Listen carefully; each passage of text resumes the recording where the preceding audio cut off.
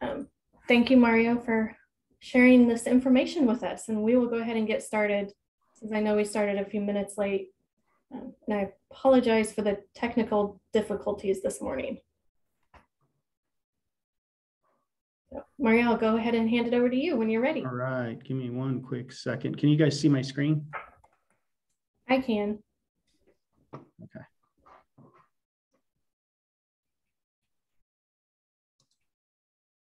Yes. Super. All right. So thank you uh, for uh, joining us today. Um, just to introduce myself, my name is Mario Moreno. Uh, I have been in uh, cybersecurity, or not in cybersecurity, but in IT since 1999. Um, let me do one thing. Sorry. I'm going to stop sharing my screen real quick and move it to a different screen because I have it on this other screen and my camera is over here. So sorry about that.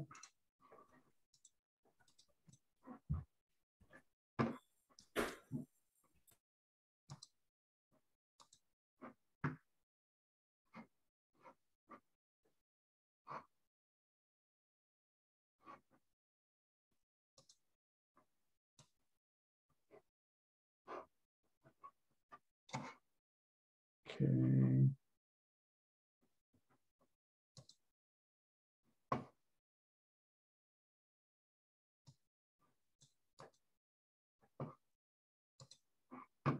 Super.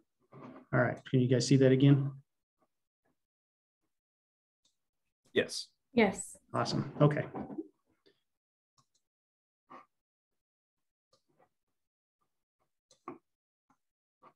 All right.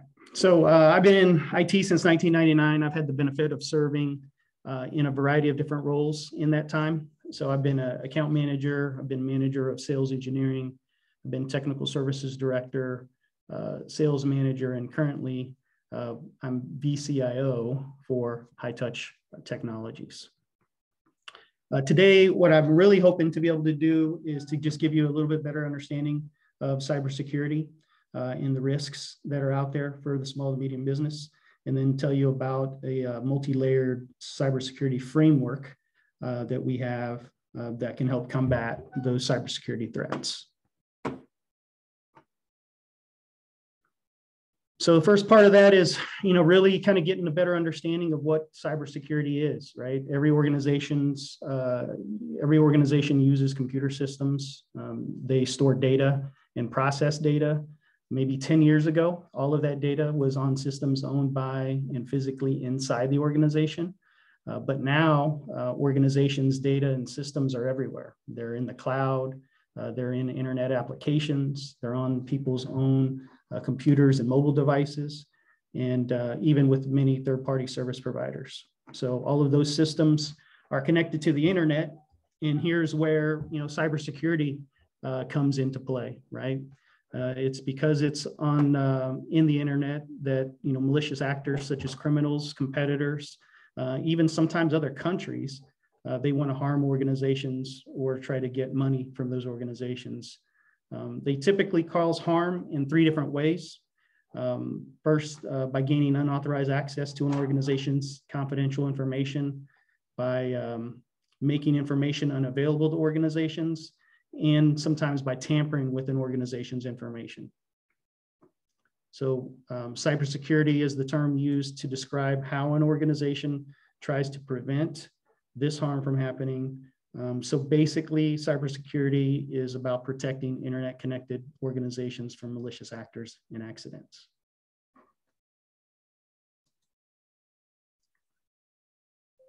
Cybersecurity is important because the landscape for cybersecurity is uh, continuously changing.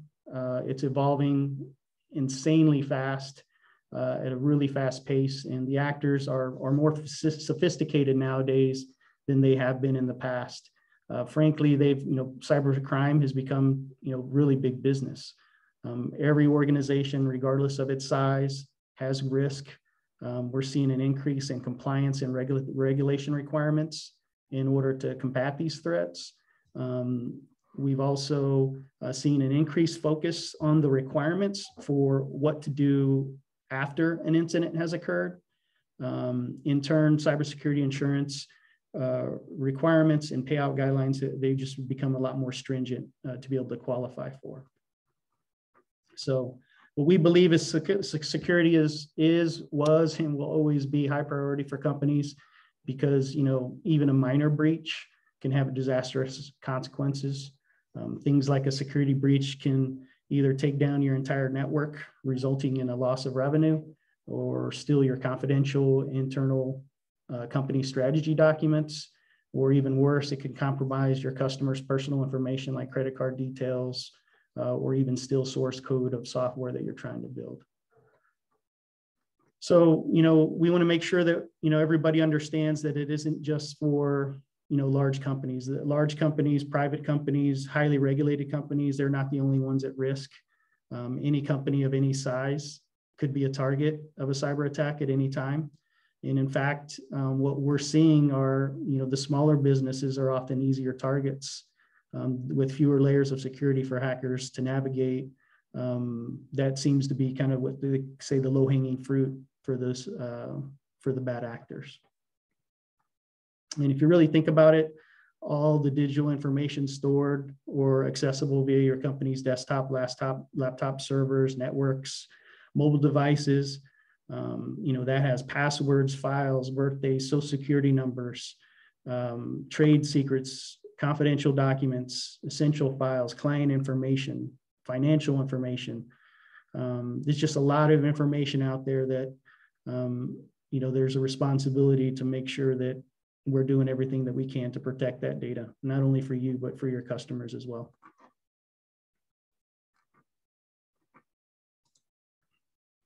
Um, there are three basic parts to a breach. Um, one of the good ways to think about it, I found this example and I thought it was really cool. Um, you know, if you think about it this way, imagine your house. Um, you know, ideally you would close all your doors and windows at night, but let's say one night you forget to close the window uh, you leave it open and let's continue to imagine uh, that that night that we have a zombie apocalypse. um, that open window is the vulnerability. Uh, the zombie would be the threat. Uh, and when that threat finds the vulnerability, um, and it can exploit, uh, you know, the security breach happens. So, you know, to further kind of, oops, sorry about that. So to further, uh, you know, define those, you know, the threats, they do come in all shapes and sizes. A threat can be an insider threat. Uh, maybe it's a disgruntled employee that wants to take advantage of the organization that he or she felt treated them poorly. Uh, the threat could be also from somebody that's uh, completely unaware of what they're doing and they just don't know the rules and the policies and procedures that are required to protect the data. Uh, we could have an attack coming from um, the inside, you know, from the outside of our network. Uh, we could have threats of a construction company that could be doing work in front of our data center or business uh, that could accidentally cut the fiber optics to that facility. Uh, the important thing is, you know, it could be a person, it could be an event, it could be malicious, it could be accidental, or it could just be based out of ignorance. Um, you know, you just never really know. Um, we can use the example of the house again. You know, we know that our house has all kinds of vulnerabilities when it comes to security, uh, but windows are pretty fragile components of our home. And in fact, they're so fragile that, you know, I can throw a rock at a window and break that window pretty easily. And once I do that, I have access to the home. Now there are a lot of ways to get inside a home and a window is just one example um, but and by my intent here really is just to illustrate that you know the windows, the glass windows specifically in your home, are vulnerable, and they are vulnerable to rocks being thrown at them. And the same thing applies essentially uh, to our businesses, right? We all have those vulnerabilities. Now, just because we have a vulnerability in our system doesn't necessarily mean we're at risk. Um, you know, maybe a system that's just not that important, maybe no one cares about about it, or maybe there's just not a vested interest in exploiting it. Um, however, exploit itself is taking advantage of a vulnerability. So um, in the case of our home and the windows, uh, the windows have a vulnerability. The exploit would be throwing the rock at it. And um, Once we've done that, we've exploited the vulnerability of our window by breaking it with a rock. Hopefully that gives you a little bit, you know, clear understanding because I know these terms get thrown out a lot, uh, you know, threats, vulnerability, exploits, and wanted to just be able to give you kind of another way to look at it and uh, and hopefully give you a bit, little bit better understanding of, of what what we're combating. Hey Mario, what's a what's a good example of just in your in your opinion like a a cyber window that's that's easy for um the for the bad actors to to break into that that house for a business? What's like one example of something that a common window that gets left open? Yeah one of the one of the more common ones uh, i would say is security patching and updates. So i mean even you, you think about users how often have you been uh, working on something uh, on your laptop or device and you get a little pop-up that says hey we want to do an update on your system and you have the ability to just you know push the button and say i'm going to delay that till later i'm going to delay that till later um, same with uh, the, the the back end system so the different servers and applications that you have um, in your environment um, if those aren't patched Probably not. on a regular basis um, those uh, can be very easy uh, for the bad actors to find those uh, those vulnerabilities within the system to gain access. Okay thank you Mhm. So, um, you know, when it comes to security, again, every organization, they'll do some level of technical and procedural things to defend itself. Um, some of these can be buying software. It could be buying uh, special services. Um, it could be, you know, buying hardware or training, adding new business processes. And what these are all known as is they're known as controls. Um, you know, the, a lot of the hard work of cybersecurity is figuring out what are the right controls. Um, and then making sure that those controls are actually working to do the job that you intend them to do. And, and if an organization has the, enough of the right controls um, to mitigate those vulnerabilities in the system, most attackers, they'll fail and, uh, and those that do succeed will be identified quickly before harm can be done. So there are three main types of controls. Uh, the first one is a preventative control. Um, for example, one of the most important uh, simple controls is a password, right? It prevents an unauthorized user from pretending to be an authorized user. You know, much like having a password, uh, prevent, preventative controls are designed to stop bad things from happening. Uh, some examples of preventative controls are, you know, trying to uh, give everyone a unique username and password. So in some organizations, I know to save on money, uh, they have a um, you know a single password, a generic password, and and and um, username that everybody uses. Well, that means that's multiple people that have that information. That means that that's also probably an easier um, place for a bad actor to compromise. So if you can have everybody have their own unique password and username, uh, that's going to be one step in um, you know helping you to be in securing the assets that they have control of.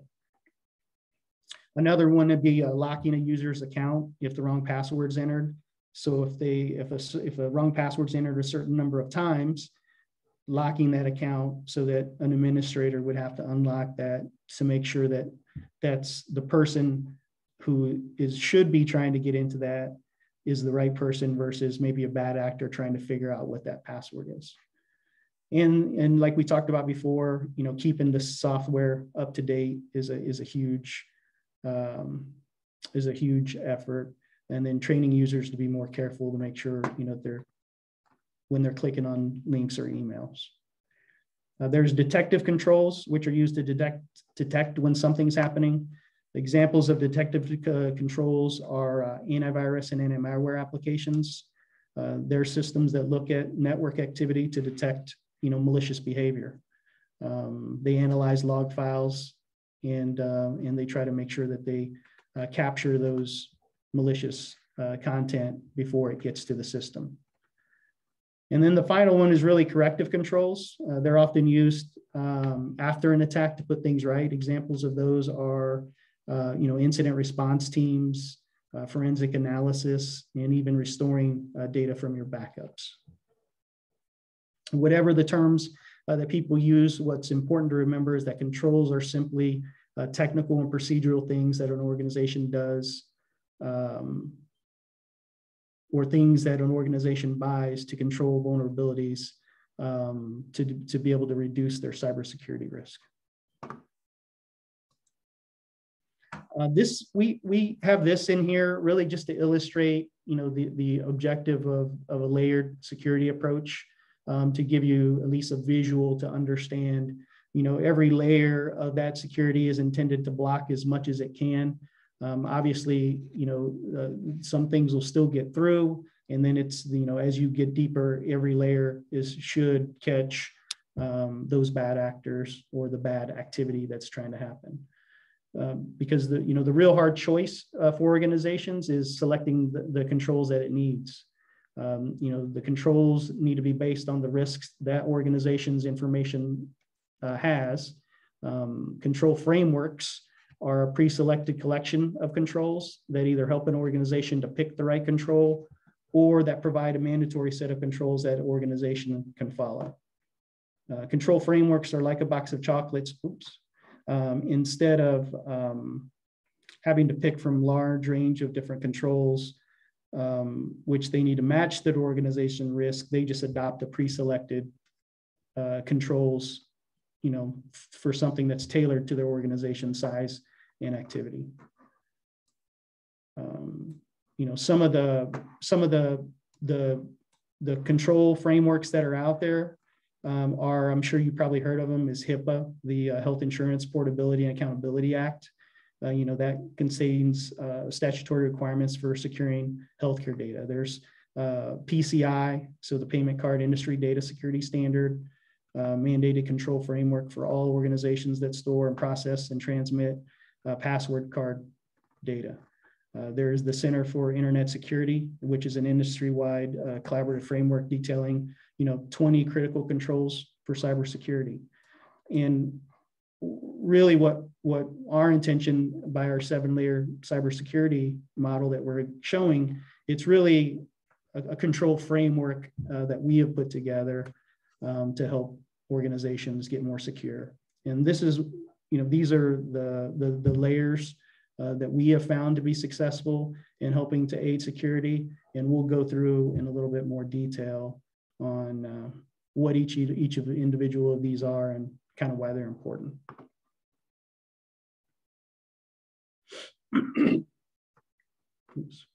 So when you're looking at your frontline defense, uh, the main objective of this is just to minimize the number of threats our users have an opportunity to interact with, right? Uh, the more I can block before it even gets to a user, uh, the more, the better uh, an organization is and the more secure and the, the, the less responsibility uh, we have to, uh, to make the right choices when we're all very busy, you know, trying to do our jobs. So the first is a, is a firewall. You know, a firewall is the, basically it's the front door of your corporate network. this will screen all the content passing through it and it can either allow or block or filter the content uh, passing through uh, to make sure that nothing harmful reaches the other side. Again, this is usually one of the first uh, lines of defense. Again, uh, lines of defense, it, it is that, that gateway between the internet and inside your business. Uh, next is email security. Uh, email is actually how 80% of all cybersecurity attacks start. You just think of all of the emails that you get. Um, they're you know riddled with uh, all kinds of bad things unless you're doing things to filter them. Uh, unless you have things in place to be able to quarantine uh, those those uh, emails that are suspicious, and then if you have sandboxes to be able to help ensure that they're not going to be exploited in your environment. we talked about this a little bit already, um, but you know, patching is another uh, strategy. You know, when when a vulnerability is found in a software, the, the manufacturer will work out how to fix that vulnerability. They'll provide an, uh, an updated version of that software. And the process of updating the software to fix vulnerabilities is called patching. And uh, once a patch is applied, the attacker can't exploit it anymore. Uh, unfortunately, this is a cat and mouse game with the attackers because once a vulnerability is discovered, you know, the attackers, they'll try to use it before we've had a time to, you know, any time to patch it. So patching quickly is super important um, in order to, to be able to do that consistently, to be able to beat those attackers, you need to have a good patch policy and a good plan.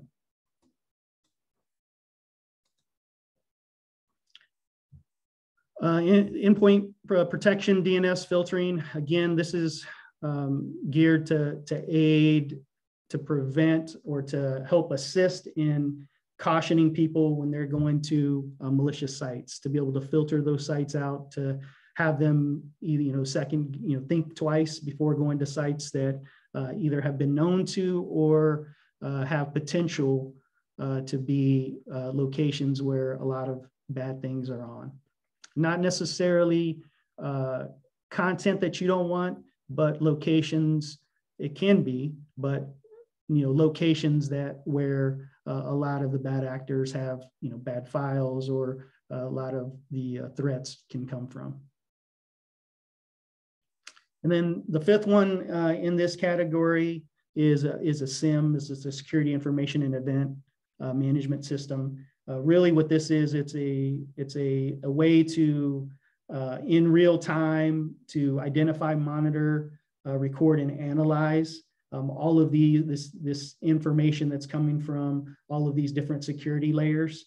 Uh, it correlates all of that information in real time and then decides, hey, is this a threat activity or is this a non, is this, are these just, you know, different events that may or may not be um, point to uh, an actual threat happening. And this is done through a combination of uh, artificial intelligence systems, and in some cases can be eyes on screen, meaning we have people watching as these threats are coming in or as this data is coming in and really um, deciding, hey, what do we need to do uh, to be able to mitigate that threat.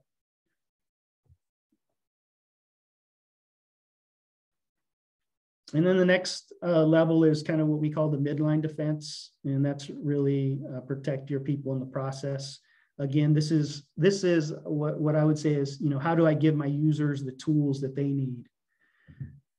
Um, so once, you know, once the first, I guess the first part of that is if I'm a user and I'm needing to connect into my company's information, um, how do I do that securely? And what, the best way to do that uh, when you're trying to get onto your uh, network is through a VPN connection, right? A VPN uh, creates a secure tunnel from either your house or wherever you are to the company network. Uh, then it allows you to access your corporate resources as if you were virtually within your company's private network.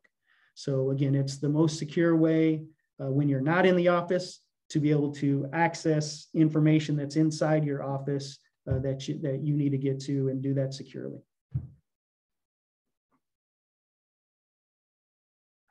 Uh, and then multi-factor uh, authentication. Um, this is anything that's requiring more than a password is called the multi-factor authentication. So a very common uh, implementation um, of MFA, which is commonly referred to as, um, is uh, has the user access their smartphone to provide a one-time code to be entered in addition to the user's password. So this is being offered uh, more and more often now uh, for more and more things. And uh, our recommendation is anytime uh, MFA is offered, uh, I would take it because it's, again, the most secure way, at least that we have at this time, uh, to maybe make sure that your uh, that particular system isn't compromised. And this one is huge. Um, you know, almost 90% of all cyber attacks are caused by human error or behavior. So the more we can educate our users, uh, the better. Um, user education is, is great in that um, it gives, it brings attention to something that for some users uh, is, is, you know, secondary or even further down the list of what they're thinking as they're uh, working and operating within the, you know, within your business. Um, I'll give you one easy example. I I was uh, where I fell prey to this. I was lucky that it was one of our actual training uh, simulation attacks uh, but I got an email from work from, I think it was Amazon, saying that my package was being delayed and and it had a link for me to click to see when that was coming. Well, it just so happened that I was expecting an important package. So I clicked the link and then as soon as I clicked it, I was like, oh man, I know I just did something wrong. For one, my my home uh, Amazon stuff would never come to my work email. It'd go to my personal email, and I was it came through on my work email, so I knew right away. Uh, I was fortunate in that I got a call in that particular time. I got a call directly from my my technical my my security team, and they said, "Hey Mario," and I was like, "I already know what I did. I'm sorry." Um, and they said, "All right, no problem." So again, what that does though is the next time I got an email, I paused, right? And that's really what we're trying to do is not only to educate, um, like what we're trying to do here today, but um, educate your users to know what to look at, to know what sort of social engineering um, uh, tactics people use to try to get, you know, your your uh, critical information, uh, to know, um, you know, not to click on emails um, that come through you. Like for an example would be if you uh, LinkedIn is real big right now uh, for a corporate environment, you get a, a, request for somebody to join you on LinkedIn. Um, you would think, okay, that's no problem. I'm going to hit that link and I'm going to go. I'm going to see who this person is and I'll see if I want them to join my network. Best practice would tell you don't click the link, open up LinkedIn and then go find the, the, the message that way. That's the most safest way. Same would apply with um, um, what I just thought forgot the uh, the social any social media um, out there is don't click any of the links that are there. Go to their websites directly and find the information that you need. So just to, again a quick, but educating users to that and then sending simulation attacks again, what that does is that just makes me more on point as a user to second guess, you know, just answering or just clicking on an email.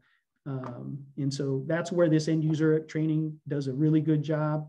Again, 90% of cyber attacks are caused uh, by some sort of a human error or some, you know, behavior. Uh, doesn't have to be malicious. Again, it could be uh, purely accidental, but the more you can bring it to the forefront of their mind, uh, the better and more secure you will be as an organization.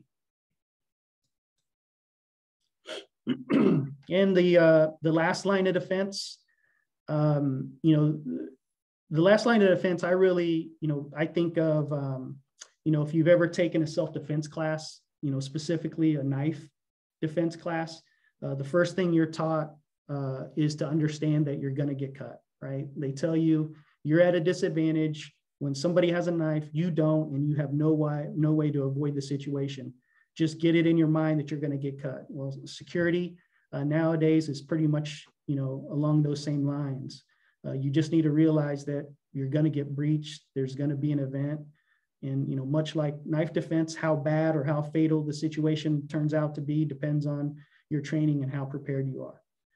Um, and that's what you know. That's really what this this this last line of defense is. You know, it starts with just making sure that you have you know antivirus. Um, it's you know it's responsible for detecting, removing, um, reporting on malicious code. Uh, intercepts and inspects application-based traffic and content, uh, just to make sure that there aren't any malicious threats hidden within that application or content. Um, again, the goal of there is to, to catch that before it, it damages things. Uh, the more, the bigger one, and I would say probably the more important one is uh, the endpoint detection and response. Uh, they, I found a, uh, a data point that said that the average time to identify and contain a data breach is 280 days. So that's 280 days that something malicious can be in your environment capturing information, whether it's passwords, data. In some cases, they may even be waiting there uh, for you to connect to one of your partners, which may actually be their actual target. Um, you just never know. But the longer it sits there, the more compromise you have, the more data they're getting. Um, so, you know, the objective here is how quickly can I identify a threat that's gotten by your defenses? How quickly uh, can you contain and quarantine it? And then how quickly can you remediate and get back to normal operations? So that is endpoint detection and response. So for your laptops, desktops, uh, in servers, um, this again uses you know artificial intelligence um, and algorithms to be able to identify very quickly when a breach has occurred. Then it quarantines it. Then it helps to uh, remediate and it helps you work on your way of getting back to normal operations. Um, again, think knife defense. It's not a matter of, hey, am I doing all these things so that I don't get compromised? It's a matter of it's going to happen. So you, we need to be able to be prepared to be able to know that it's happened right away and do something about it as quickly as possible. And that's what EDR does. And then the last one is, you know, uh, data backup and disaster recovery. Again, um, you know, we need to make sure that we have a plan. Uh, backups are, are going to be of critical importance. Um, you know, one, if you if you've ever had a uh, um, or if you've heard of the uh, ransomware, where a bad actor will get into your environment and they'll encrypt uh, all of your files, uh, and then they'll encrypt your files and they'll make you pay a ransom to in order to get the key to to decrypt those files. Well, if you have a good backup and it's not compromised, well, then you can just recover from that backup and be back on your way and not have to pay that ransom. Um, they've gotten pretty sophisticated and pretty tricky. In some cases, that malware, uh, that ransomware will come in, they'll delete your backups, and then they'll encrypt uh, your data. And they're they're constantly evolving, like we talked about before. They're constantly evolving uh, to be you know more malicious and to get around the security protocols and the controls uh, that we put in place uh, to be able to mitigate them. So when you're talking backups, you know, important. Uh, it's important that you're that you uh, try to follow the three, two, one backup rule. So that's having three copies of your data, uh, two of those on different media, and one copy being offsite. So uh, I guess a little breakdown of that is if I have my actual data, which is running on a server, I need to be able to back that up onto a different device that isn't that server, potentially another server. Uh, and then I need to be able to take that data and actually have it somewhere that's offsite, uh, potentially in the cloud or potentially another location. Um, that's that would be three copies of the data. That would be on two different types of media, and then one of those would be offsite. Uh, that's best practice, and that'll uh, at least do go a long way of ensuring that any encryption or any bad actor that gets in your environment won't be able to get all of those copies of the data and you'll always have that data to be able to recover from. It's also important to remember uh, that it's um, your responsibility to protect your data and that only doesn't that only that doesn't only apply to the data that's on your premise. Um, even you know services like Microsoft 365 or Azure uh, they recommend that you um, implement a data protection strategy for the data on their platforms. Uh, these, uh, they're, they're not typically included uh, with their uh, standard monthly fees. And then, you know, it used to be a day where, you know, whenever you talked about DR or disaster recovery, um, it was really meant uh, to be able to um, combat, you know, if there was a natural disaster, if there was an earthquake, if there was a flood, if there was a tornado, or a local disaster like a fire or a hardware failure, or people disasters, you know, uh, you had to be down for maintenance or um, or an accidental deletion of information. But more commonly, having a disaster recovery plan is is really uh, helping to combat security disasters. So uh, been and seen many environments that had gotten so bad that they had to uh, recover, uh, go to their DR plan if they had it, or totally rebuild their entire uh, infrastructure because they didn't have the right uh, controls in place to be able to identify that fast enough to minimize the impact to their network. A few things um, is regarding um, DR um, that you'll want to take into consider. You just need to know which systems are the most critical, know what system workloads are the most important to maintain uh, business continuity. uh, know how much data and time you can afford to lose. So understanding what your uh, RPOs and RTOs are, so your recovery point objectives and your recovery time objectives. Um, recovery point is how old is the data. So if uh, if I back up or or move that data, you know, uh, daily, that means that my data is always going to be 24 hours old. If I need that to be shorter, then I need to be able to send that information uh, within a shorter window. Um, and then recovery time objective is how quickly do I want to be back up and doing normal operations? Is that 48 hours? Is that 24 hours? Is that four hours? Uh, whatever that time is, those knowing the RPOs and RTOs will help whoever is helping you with your disaster recovery figure out what's the most optimal uh, way to uh, design that disaster recovery for you. And you also need to know, you know, how you will access that data and from where you're going to access it. So those are just a few real quick uh, things from a disaster, both backup and disaster recovery uh, that, you know, that you'll need to consider um, when you're implementing either one of those solutions.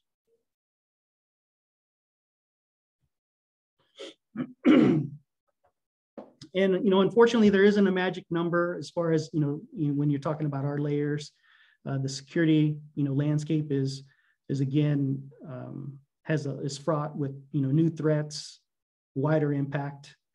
Um, the you know cyber crime is big business.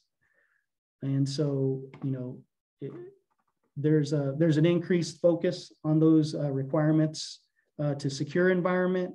And um, you know, as I said before, every organization, they have to do some level of technical and procedural things to defend itself. Uh, the, the 11 layers uh, that I talked about um, are, again, a form of controls. And they're really uh, important concept in cybersecurity because a lot of the hard work, like we mentioned before, is selecting the right controls. Um, and then again, our goal is to have enough of these controls in place uh, that they'll mitigate uh, all of those vulnerabilities that we have and to you know cause those attackers to fail. And um, hopefully we can catch them when they do get through as quickly as possible. And that's the goal. But important thing to note you know is that each organization is on their own journey of security. So you know know that even though we've been talking about what we believe to be best practices in security um, not all organizations are in the same spot to implement implement all of those um, protections So a good place to start um, is really um, to identify, you know, what, what are your compliancy needs?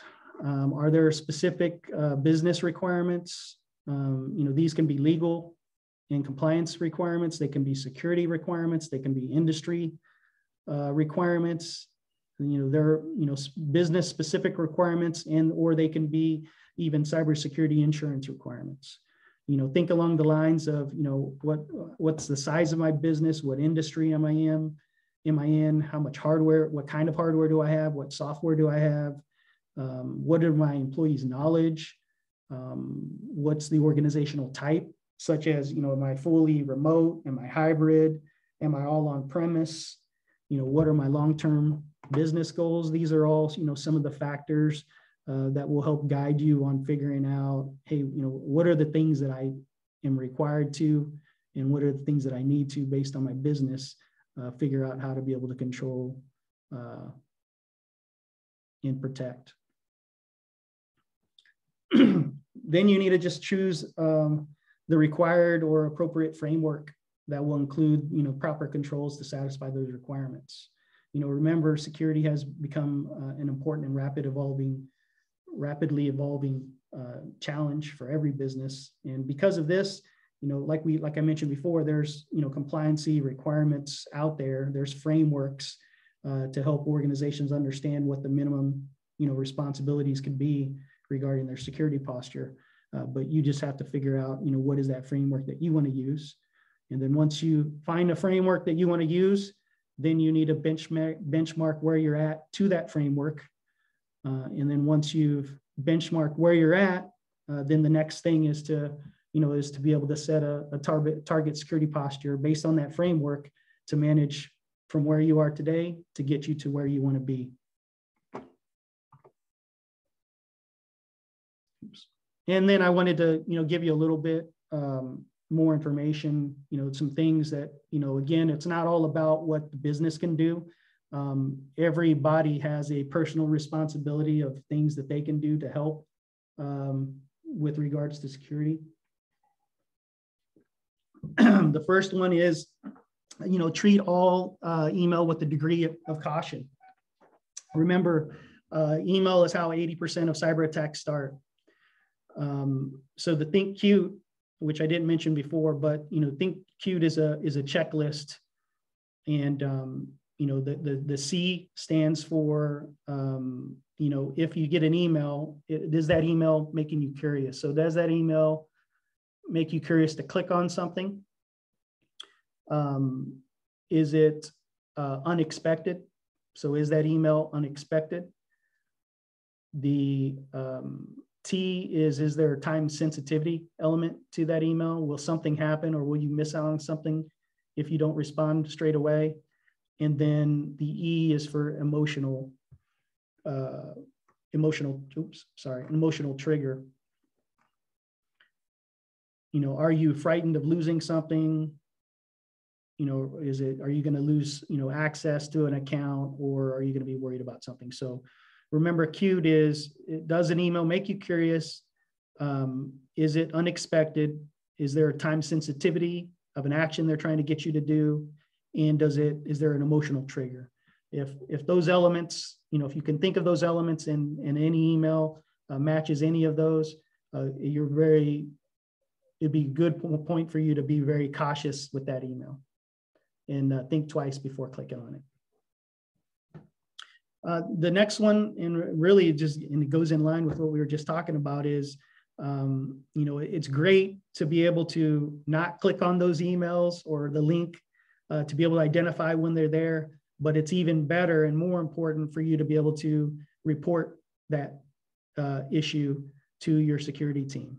Now, sometimes there's a button that you can press to report that email, um, or maybe there's an email address that you have to forward it to uh, or you have to call somebody. Uh, the, the biggest thing here is make sure that you find out from your organization uh, what is the best way that they want you to do uh, to be able to report that. Um, so again, the best thing is see something, say something. Uh, the other one is, you know, super important. Um, you know, there's a reason why companies restrict or should restrict the software that you can install on your computer. And uh, that's because installing software is one thing that attackers like to get people to do so that they can break into their computers, right? A lot of, you know, depending on where you uh, download, sometimes, as a matter of fact, even in uh, legitimate sites, there are known uh, instances where bad actors were able to put malicious content into an, legitimate application, um, you know, that that we that people were using eventually they found it and, and, and the company remediated it. But, you know, it, it, it's, it's not, it's very common for attackers uh, to be able to do that by getting you to do, you know, by, by just loading that malicious content within that software. So, you know, before just going and loading software, it would be a great idea, again, to check with your organization, your organizational security uh, team or partner uh, to be able to just understand, hey, is this okay that I that I load this? And then, you know, as far as your physical environment, you know, most attacks do happen over the internet, but it's really important just to be aware of your physical environment. You know, take care of your devices. Don't let other people read your screens. And if you lose a device, you know, report it, you know, as quickly as you can. And, you know, and be aware if you see, you know, social engineering is insanely popular um, it could be physically, uh, I've even seen it physically on site uh, where people are trying to gain access to a building uh, or locations where they're not supposed to be. And uh, that gives them, you know, they basically get inside uh, the environment and be able to plug in and do things. So uh, just be aware of that. And again, just like with everything, just report it whenever you can. And then one of the you know, another real important thing is, you know, following best uh, password best practices and using MFA wherever possible. You know, unfortunately, until we're uh, figure out how to get rid of passwords, I know we have a lot of different sites um, that we have to keep passwords for, and that makes it very difficult. Um, but um, you know, some of the things that you can do to make your passwords more secure is use a unique password for every site. So again, I know that's challenging, but best practice says you don't use the same password twice. Um, and then use longer passwords. So uh, use phrases, uh, use special characters. Um, in some cases, you know, like I said, they talk about using, you know, sentences. Um, you know, you just using those two will make things uh, more secure. And if you, the best thing to do would be to use a password manager. Uh, that's what I use um, because again, it gets challenging to remember all of those different passwords. A password manager can not only help you remember the passwords, in some cases, they can come up with uh, secure passwords uh, that can help you there as well. And um, if any service uh, or website you use offers you two-factor authentication, please take it. Uh, again, it's going to go a long way. Uh, I know it's one extra step that you have to do to log in, but it's well worth uh, the time for you to uh, help yourself uh, be more secure. And then finally, remember, um, passwords are like toothbrushes. Uh, you don't share them with other people and you don't uh, share them between sites.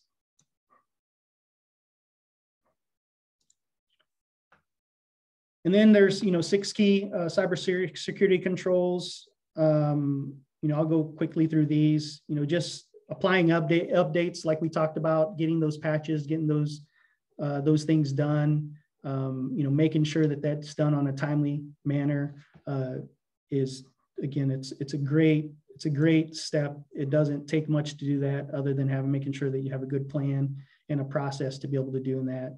Uh, do some application whitelisting.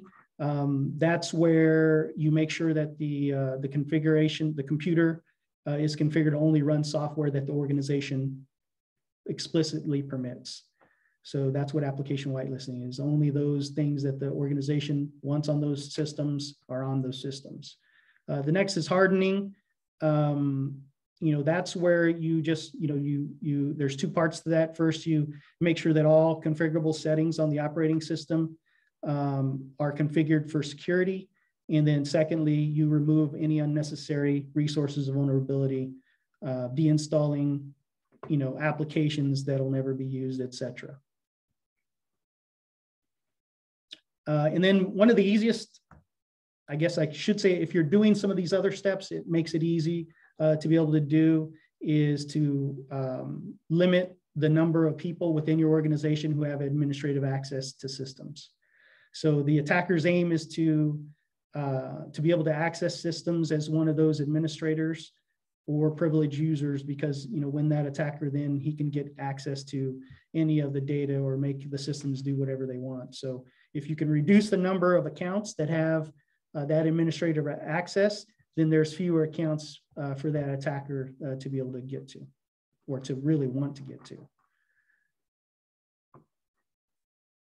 And then, you know, like we talked about, uh, multi-factor authentication, you know, I, I think I've said multiple times what it is, but, you know, anytime you can get an MFA, uh, please take advantage of uh, having MFA in your environment or require it in your environment um, if you're the decision maker. Um, it just it just makes it that much easier to be able to uh, control your environment. And then the last one again is backups, which we talked about uh, making sure that you have a safe backup, make sure that you're leveraging the 321 uh, process for backups is going to go a long way to be able to protect. And if you want to take that next step of making sure that you have a disaster recovery plan, uh, that'll again further uh, protect you to make sure that you'll be able to get to normal operations in the event of an, any sort of disaster. Uh, but in this context, specifically a security disaster. I hope you found uh, this information educational. Uh, I'm, I'm open to any questions if anybody has any. You mentioned a password manager. Um, is there a app or a software specifically that you would recommend or one of those that you would recommend as far as, you know, choosing or selecting or how does that, does one find or, or utilize a password manager?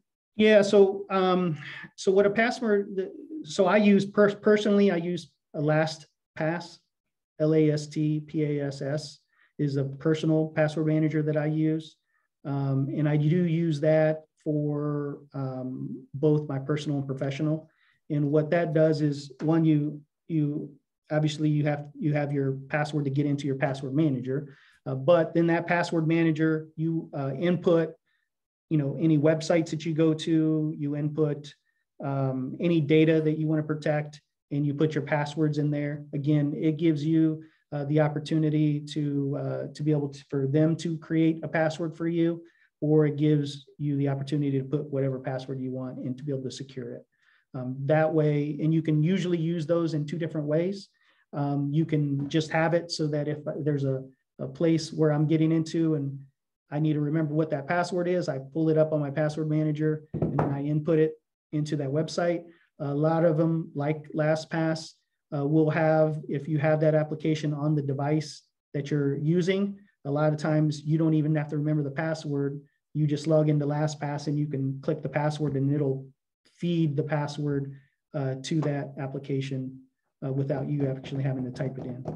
So there are a bunch of them out there. Um, we don't necessarily uh, recommend any particular one, uh, but it would just say just kind of use, you know, whether you're using it for personal or whether you're wanting to do something organizational, um, look at those and find out, you know, what are what which of those are going to meet the requirements of what you're looking to do and keep you as a business owner uh, to have the right level of control.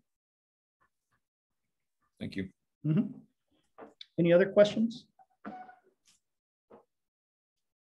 And make sure you're off mute if you have a question. Um, the websites that let you save your password, is that safe or is it best not to do that? Yeah, I, I personally, I do not pass, I do not save that um, because I don't, um, I don't have control of that security, right? I don't know how stringent their security is. Um, so I want to make sure that I know, like the reason I put it on my password manager is because I know I have a solid you know, password. I change that password every so often. I don't use a single word. I use all again all of those, you know, the password guidelines that that we spoke about. Um, I leverage those. I don't that password. I definitely don't reuse anywhere else. Um, and the, another good thing with, with regards to the passwords is don't recycle them. So one of the things, one of the issues that does happen is even if you have an old password, you say say I had an old password that was uh, say two years ago and think, okay, well, it's okay for me to reuse this password now. I'm using it on a different context, not even the same site. I'm going to reuse it, right?